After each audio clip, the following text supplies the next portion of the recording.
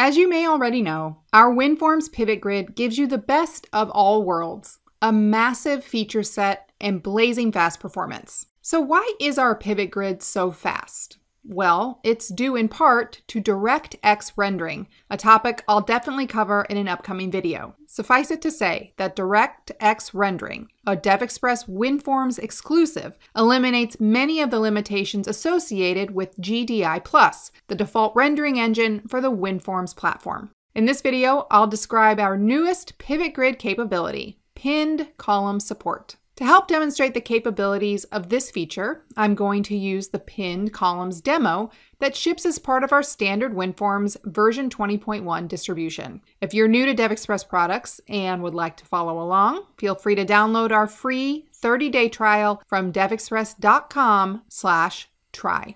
Okay, first things first, the Pivot Grid's pinned column support mirrors that of our WinForms data grid. You or your end users can pin columns to the left or rightmost edge of the Pivot Grid with ease. In this demo, we've pinned three columns to the leftmost edge of the Pivot Grid. Pinned columns are never scrolled horizontally. This helps improve both readability and usability since pinned columns can be used as a reference point for adjacent Pivot Grid cells. All right, time to change the location of my pinned columns. I'll use the options pane of this demo and specify right to align my three columns to the rightmost edge.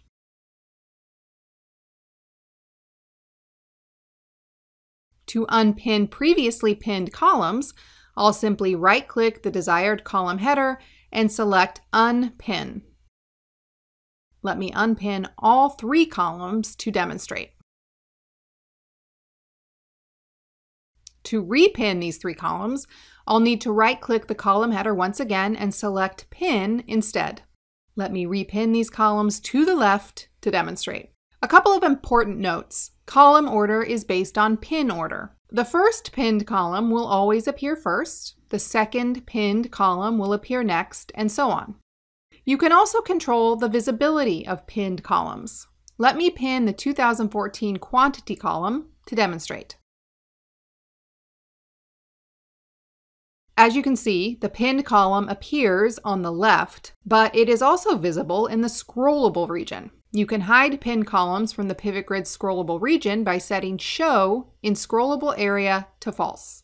So if I uncheck Show in Scrollable Area, all pinned columns, including the 2014 total quantity column, will be automatically hidden from the scrollable region. Before I wrap up this short video, let me revisit the importance of this new feature. Pinned columns substantially improve the data analysis process because they simplify comparisons. For instance, by pinning the 2014 total quantity column, I can easily compare sales performance from one year to the next and from one product to the next. Oh, and yes, you can also apply additional formatting to pinned columns and further enhance data readability. For instance, in this demo, we've highlighted cell values within the scrollable region that match the maximum month sales value column.